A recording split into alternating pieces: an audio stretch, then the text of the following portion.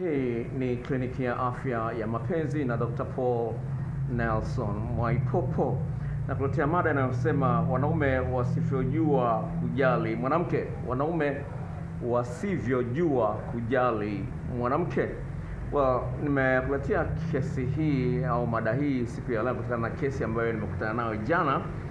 Nimepigiwa simu na kaka ambaye of course ana amegundua kwamba mpenzi wake amerudiana na mpenzi wake wa zamani, uhusiano wa miaka mitatu. Dada huyu ametuma message kwa yule kaka mpenzi wake zamani, na yule kaka mpenzi wake wa zamani anamwambia njoo nikupe mimba, uchumba wenu ufe.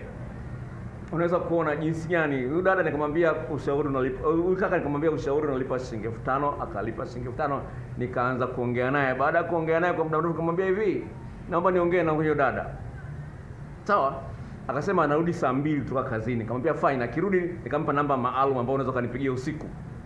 Nampa namba akanipigia saa nne sawa, saa nne nikaanza kuongea na yule dada. Yule dada anasema bwana, huyu mwanaume wala anijali, anihudumii si nini, akaelezea mambo mengine mengine mengine mengine mengi hapo. Wakati hapo hapo mwanaume huyu alikopa milioni moja na laki mbili kwa huyu mwanamke, hakuirudisha kwa wakati. Mwanamke amelalamika, mwanamke alafu anaamua kwenda kwa, kwa, kwa, kwa mpenzi wa zamani, eti anafikiria kwamba mwanamke huyu amerudi kwa mpenzi wake wa zamani kwa sababu alichelewa kulipa hiyo hela, na hiyo hela amemlipa, lakini mwanamke anasema no, it's over. Sasa uhusiano wa miaka mitatu, naongea na yule dada, namwambia na- naongea na yule dada, akamwambia akaongea mambo mengine mengi sana, unaona ambayo nitayazungumzia hapa, sawa. Yule dada akaongea mambo mengi sana, nikamwambia mwanaume, nikamwambia hii imekula kwako. Hata kama ingekuwa ni mimi ndio wewe mwanamke, nisingekubali kuolewa na mwanaume kama wewe. Nikamwambia singe- nikamwambia "Aya, amelipia yeye, alifikia kwamba nitamtetea, sawa sawa, nitamtetea. Nikamwambia hivi, huyu mwanamke sawa, hata ha, miaka mitatu hiyo, hata zawadi kwa baba yake hujawahi kupeleka, hata zawadi tu, sawa, hujatoa mahali na nani nani, lakini mnaishi pamoja, sawa. Hata akisema mnunulie mama kitu kitenge, mpelekee mama zawadi kitenge, hamna. Unaweza kuona jinsi gani hii inakuwa ni ngumu sana. Nakwambia hivi, mwanaume mwenzangu, sawa, kasi ya wanawake kusaliti ni kubwa mno. Naongea nao mimi, wananiambia nimeanza kuchepuka ya, wengi naongea nao, siwezi kukwambia kwamba ni mke wako, lakini no, kasi ni kubwa mno, inatisha. Sasa sasa napenda kuambia kwamba usijione mjanja kwa sababu una hela, sawa? Usijione mjanja kwa sababu unaona mke wangu hajaanza kunisaliti, ataanza siku ambayo hujui kwamba ameanza. Kwa hiyo ningependa kuambia oh, wanaume wenzangu, sawa sawa, wanawake kutokana na mafundisho ya Biblia tunapaswa kuishi nao kwa akili. Sawa, Biblia kama sikosesi ni kitabu gani sikupanga kuzungumza, lakini iko kwenye kitabu kwenye Biblia nimeshaizungumzia kwenye mada kwenye, mada fulani hapa sawa. Lakini sema ishini na wake zenu kwa akili. I think ni waraka wa kwanza wa Petro kama sikosei, sura ya nne. Waraka wa kwanza wa Petro sura ya nne kama sikosei, sijui ni wapi, lakini tafuta kwenye waraka wa kwanza wa Petro sawa. Yani, yani ishi na mwanamke kama vile ni mfungwa, anaweza katoroka muda wote ule. Sawa, ishi na mwanamke kama vile ni mfungwa, anaweza akatoroka muda wowote ule. Sasa napenda kwambia hivi, nikusomea message hii. Ah, message hii uweze kuelewa kwamba kwa bahati mbaya udada uda- message itakayesoma ni yatima, lakini anaonyesha jinsi gani madhaifu anaona na aliolewa katika umri mdogo. Nitakusomea message, sawa? Lakini kuna kitu ambacho wanawake wanahitaji kwa wingi kuliko vingine. Sasa sisi wanaume, kwa sababu tunapenda tendo la ndoa, tumeweka msisitizo mkubwa kwenye tendo la ndoa, na wengi wanaume wana matatizo ya kuwahi kumaliza, anaishia kagoli kamoja, alafu anajiona mjanja. Wewe unafikiria waliweka kondomu tatu kwenye pakti ya kondomu ni wajinga. Unaafu unaishia goli moja, unaona siku zote tuko hiyo. Unaboa lakini hujui kama unaboa. Na mbona nisikilize, sawa? Ndio maana nimeweka video video uh, clip hapa kwenye kwenye, kwenye channel hii nasema uh, uh, kufanya mapenzi bila kufanya mapenzi bila kuseksi, yani bila kuingiliana. Nimeweka video hii hapa. Nimeweka video nyingine hapa inayosema kwamba uh, uh, uh, uh, uume kuishiwa nguvu isiwe mwisho wa kufanya mapenzi. Zote katika jitihada zangu, jinsi gani mwanaume afurahie mwanamke aliye naye. Sasa utalalamika mke wangu kata, akata kiuno, wakati mwenyewe una tatizo la kuwahi kumaliza. Oh, mwanamke wangu hatoi ushirikiano kitandani, wakati mwenyewe tatizo la kuwahi kumaliza. Utafika mahali kweli? Sawa, naongea na mwanaume analalamika juu ya mwanamke, namuuliza una matatizo ya kuwahi kumaliza? Au laume mdogo mwembamba mfupi? Anasema kweli dokta na tatizo la kuwahi kumaliza. Sasa analalamika juu mwanamke amekuwa jeuri lakini hajaangalia matatizo yake mwenyewe. Sasa nimekuja kwenye pointi moja kubwa nakuja sasa hivi sawa? Mada hii itakuwa ndefu sana lakini nataka nikusaidie uelewe sawa?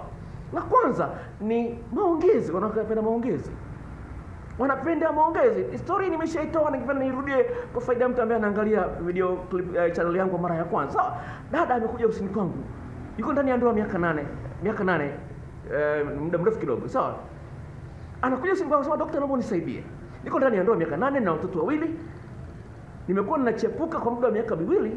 Sasa hivi ndahisi mume wangu am, amegundua kwamba ninachepuka. Sasa naogopa kukamatwa shida nilionayo iliyoleta kwako ni kwamba huyu mwanaume nitatiana naye leo nasema leo mara mwisho kabisa naapa haki ya mungu. Leo sitomani na huyu mwanaume tena. Lakini mimi mwenyewe baada ya siku tatu namtafuta. Namuuliza huyu dada imekuwaje? Kwenye na ndoa mume wako akufutishi kileleni. Anasema anajua tendo la ndoa anajua vizuri kweli. Nikamuuliza mwenye pesa kati ya mume wako na huyu mkepuko nani? Akasema pesa nisumbui mimi mwalimu wa sekondari na hela yangu ya kutosha. Nikamuuliza kwenye maongezi nani anaongoza? Akasema mchepuko anaongoza sasa huwezi ukaamini. Siku ya kwanza kutiwa huyu dada ilikuwa inanyesha mvua. Walikuwa wanaongea tu kama kawaida lakini wako hotelini. Sasa mvua ikaanza kunyesha kubwa. Mwanaume akasema chukue chumba bwana. Mwanamke akakubali. Walikuwa wanaongea wako nje hawana mpango wa kutiana. Sawa lakini maongezi yamenoga. Mwanaume anasema kwamba chukue chumba ndio itakuwa raha zaidi. Mwanamke anakubali anaenda anaenda kutiwa kwa mara ya kwanza.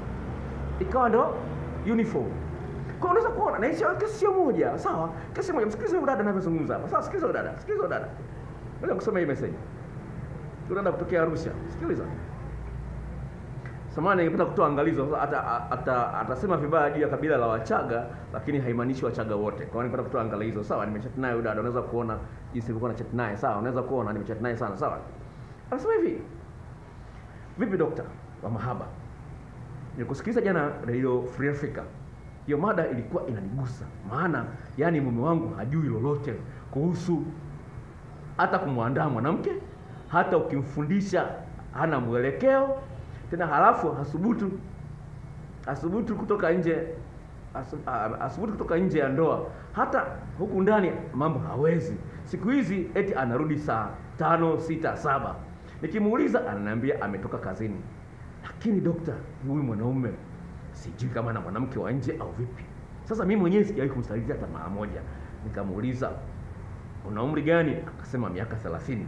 Akasema nikamuuliza "Je, anakuhudumia kima- ki- kimahitaji? Akasema hivi, yaani hana pesa, hana kauli, hata kauli hajui, hata kununua nguo ya ndani. Akikaa hapo ndani kama vile umekaa na bundi, yani hajui kuongea, ana maongezi, ana mnogesho wa maongezi, hata kuchekesha hajui. Eh, eh, anasema nipo Moshi, yaani haya Machaga. Nime nimewahi tu kuolewa na huyu mwanaume, yamezoea Wachaga wenzie, maana wana tabia ya kusema niangushe mwenyewe. Unaona, yaani unaweza kuona, anasema ukikaa naye kama vile umekaa na bundi, haliongei. Sasa sinakuwa wanaume wamekuwa tu busy na simu, WhatsApp na magrupu grupu, Instagram na madududu mengine, lakini hawana muda wa kuongea na wake zao. Mwanamke anahitaji muda wa kukaa na kuongea na wewe. Nia, lini mara ya mwisho umemtoa outing? Mkeo, achana na mpenzi mchumba ambao unamdanganya danganya kwamba unampenda unamtoa outing na nini na nini. Lini umemtoa outing? Mkeo. Unajua, nimeshatembea na wanawake wengi kidogo, lakini unapomuonyesha mwanamke mapenzi mpaka mwanamke anafikiria umemloga jinsi anavyokupenda, hiyo sio kitu kidogo. Mwanamke ambaye anadiriki kuambia, yani hata ningeambiwa nichague mume mpya, bado nitarudi kwako. Anasema nasema hata nikiambiwa nichague mwanaume yani, yani, yaani chague mwanaume yote mwingine mpya, asema bado nitakuchagua wewe. Sasa huwezi kwamba mtu umeingia kwenye kile kiasi ambacho anaona anaona wanawake wanaume wengine wote takataka. Sasa lazima uingie kwenye akili yake, lakini njia nzuri ya kuingia kwenye akili ya mwanamke kumwonyesha unamjali ni kitu ambacho kwenye saikolojia kinaitwa acts of service. Jinsi gani unamhudumia huyu mwanamke katika maeneo mbalimbali. Sasa vitu ambavyo vina nguvu zaidi katika kumhudumia mwanamke, yaani wewe mwanaume amfanya mwanamke aisikie kweli kweli kweli anapendwa, ni vitu ambavyo unafanya bila kuombwa au kuambiwa. Sawa, kuna neno la Kiingereza ambapo ambapo lime- limetoka linasema hivi, the most powerful acts of service are those that are done spontaneously, acts that superseded expectation. Yaani ni mambo ambayo huyu mwanamke hakutarajia, lakini ni mazuri, unamfanyia. Sasa unasubiri kuombwa. Hebu fikiria kama mwanamke sawa, mwanamke sawa, hana kazi, wewe unasubiri kuomba, na hata kama ana kazi, hata kama amekuzidi kipato, lakini bado anatarajia kwamba ili ajisikie kweli anapendwa, utafanya mambo ambayo hakukuambia, ambayo yatamfanya ajisikie yeye ni special. Ukishindwa kufanya hivyo, nakwambia hata ungemnunulia magari mapya kila siku, ukampa milioni kumi kila siku, haitakusaidia kumfanya mwanamke ajisikie anapendwa. Ah, dada mmoja akasemaje katika tafiti ya mada hii, akasema hivi, ametumia neno mazuri kule Kiingereza, akasema hivi acts that go above and beyond that help a woman feel your love towards her. Asema ma, ma, mambo Yesu anavyomhudumia unakwenda, asema they go above, yani anakwenda juu na kuzidi yale ambayo ametarajia, kuzidi yale ambao alikuwa ametarajia. Sasa wewe unamwona mke wako kanuna, unafikiria kwamba mambo yako sawa. Unamwona mke wako hana uchangamfu, unafikiria mambo yako sawa. Jiongeze.